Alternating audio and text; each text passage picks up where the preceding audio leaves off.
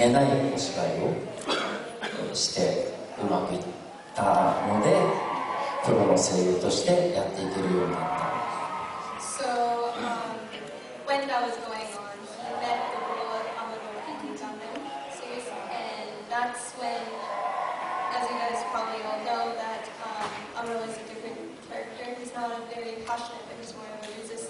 He kind of resists himself to um, fighting, and so he took on that role, and that um, expanded his career to what he is right now. So it's a memorable character.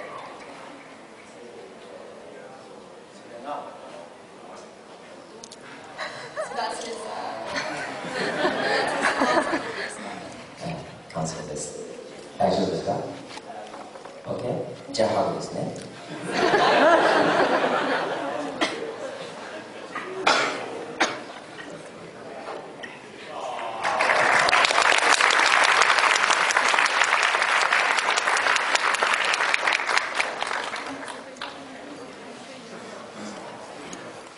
こんにちは。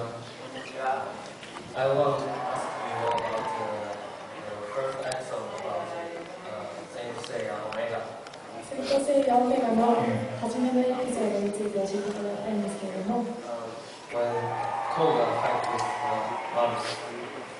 マヌスと戦いでき、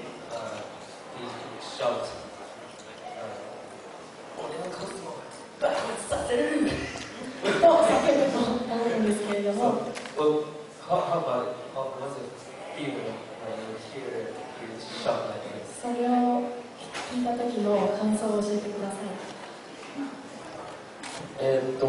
そうですね。あの声優の緑川光君は、えー実はガンダムが大好きであのガンダムのパイロットになりたくて声優になった 人なんですね。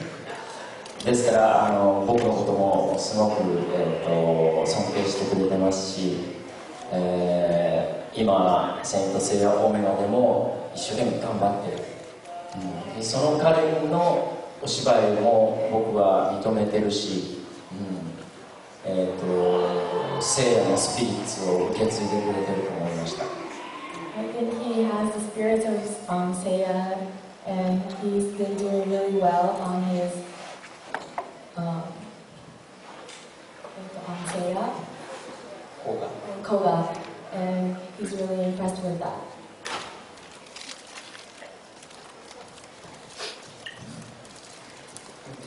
こ自分はスパポン大好きで、その中のエンジガンマンで、スの必殺技なんかおためを出すときに、ピンパンでいう部分があるじゃないですか。はい。ゲームスーパー,ロボット対戦。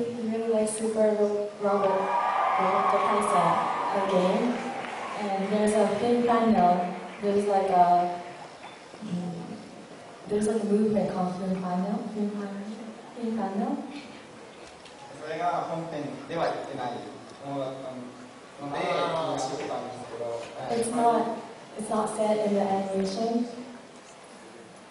はい調べたら、あのそのまとめを言うのがかっこよくて憧れたので、それを特別に入れたっていうのをなんかこう聞いたって調べて知ったので、それが本当だろうかっていうことを思い So I looked it up, and then it said um, he thought it was really cool to say it. That's why he put it in the game. So I want to know if it, if that's true.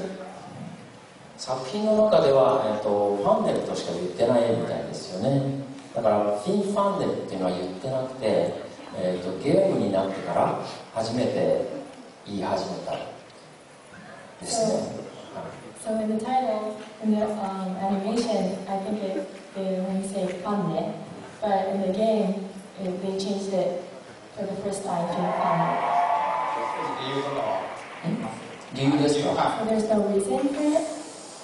や,っぱり僕は「ニューガンダム」大好きだし、あの、なぜかっていうと後方一体の武器じゃないですか。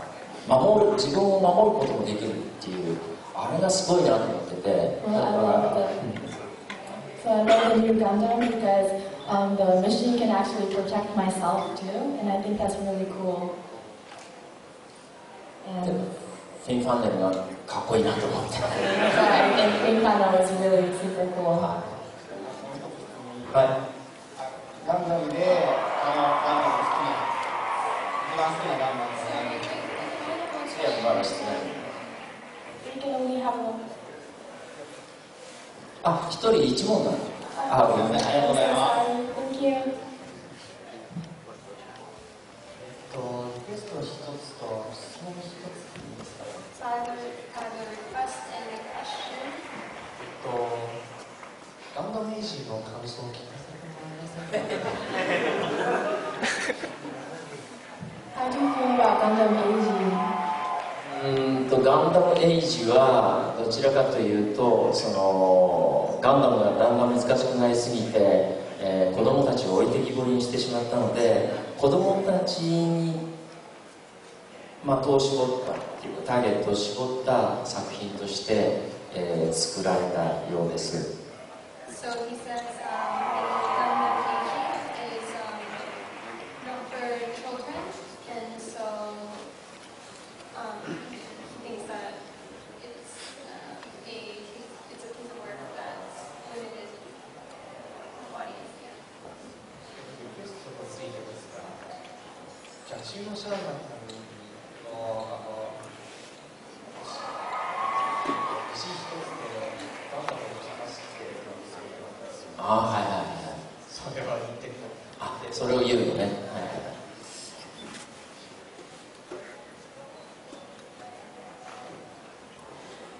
こんな石ころ一つニューガンダムで押し出してやる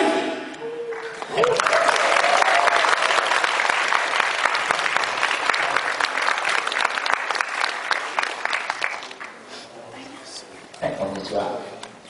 Uh, how did you feel about uh, playing uh, an antagonist in Gundam Double Series Song? えっと、ガンダムダブルおで、Was the focus? あリボンザルマン。えっと、役の役をしたとき、どのように感じましたか？あえっと、ガンダム00は最初お話が来た時に実は、えっと、2000 2006年のアニメエクスポロサンゼルスアナハイム市でやった、えーその時に水島監督と出会って、えー実は鋼の錬金術師が素晴らしい作品で好きですっていう話をしてでその時に、えー水島監督が来年新しいガンダムをやるんで出てくださいと僕にオファーしてくれました So Gundam uh, Double um, O, seven? Double O, sorry. Um, when it first came out, um, he was at the Anime Expo in 2006 um, in Los Angeles, Anaheim, and that's where he met the um, the director of the, his name is Miyashima, and he knew about his works from before, and so he was saying how um, there was a new Gundam coming out, and he gave an offer to him. でも僕は、えーガンダムではアムロの役しかやらないつもりでいたんですねだから最初お断りしました.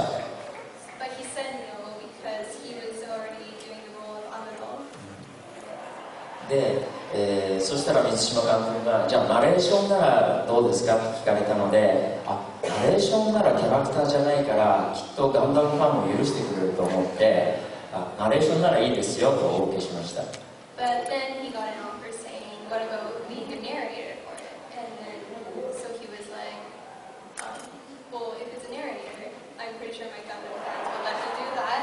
So he took on the role of a narrator. でその後、えー実際ガンダム00が始まる時に、えーナレーションでお願いしますとお話が来たんですね。でそしたらその00の設定をいろいろ聞いていったら、えー宇宙世紀ではなくてえー、と普通の、えー西暦だったのであそれだったらアムロ以外のキャラクターをやったとしてもアムロと出会うことはないと思ったんです。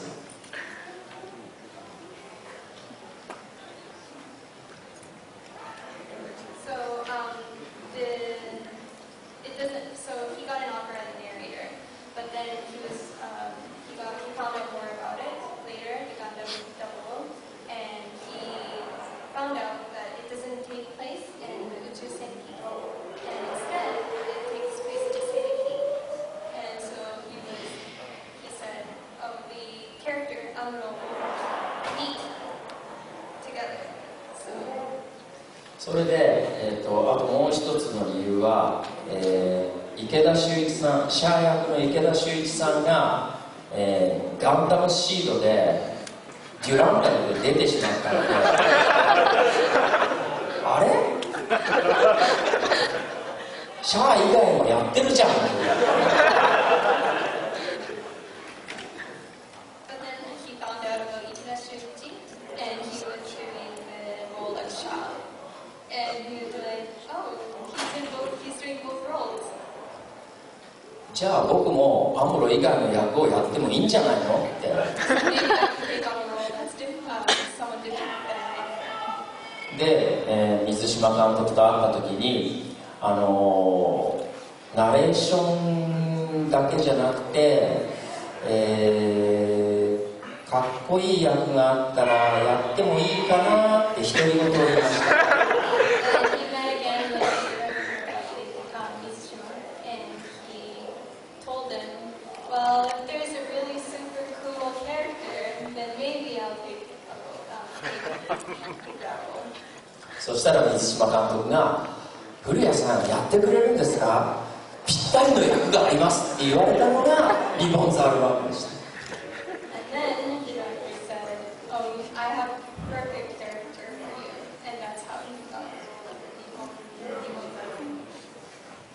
それででもやっぱりアムロ以外どうなのかなって僕は思っていたので名前を変えてやることにしました蒼月の頃 But he still wasn't too happy about taking another role other than Amuro, so he changed the name. でもリボンズは僕大好きな役でやっててとても気持ちいいです Uh, リボンズ oh, but I really like, like doing revolts because it's really refreshing. いいですねはい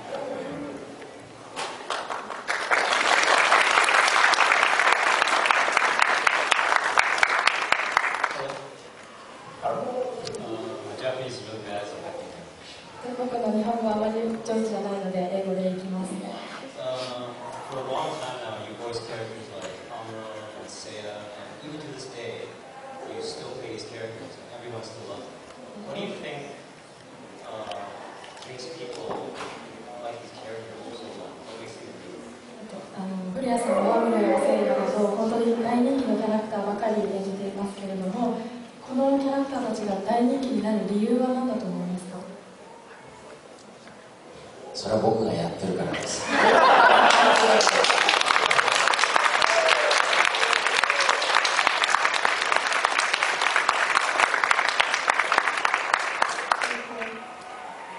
Sorry, last question for Jason because we're running out of time. I'm so sorry. OK? Thank you. こんにちは、古谷さん。はい、こんにちは。日本から来ました。あ、ありがと古谷さんの中で一番、えっと、心に残っているアムの名台詞をちょっと言ってもらって、ハグお願いします。Hi, I'm from Japan.